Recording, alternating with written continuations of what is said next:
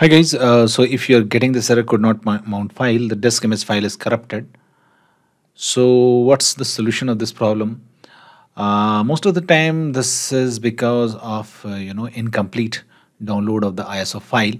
So what you can do, you can try downloading the ISO file again from the same source and see if uh, and try again and see if it works or not.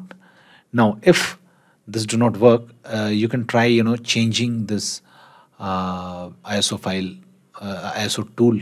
Okay, so if you're trying uh, using a third-party ISO mounting tool, try to change the tool to a different one. Okay. Now, if these workarounds do not fixes your issue, what you can do, just search CMD in the Windows 10 search box, right click, click on it as administrator. Okay, and now first of all, you have to run this command. Okay, copy and paste this command in the command prompt window. I have pasted both these commands in the description of the video given below. You can directly copy those commands and hit enter each time to execute the commands.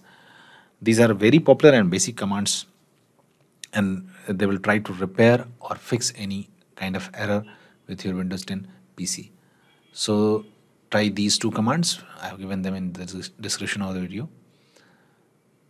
That's it guys. Please do like the video and subscribe to the channel for supporting us. It's very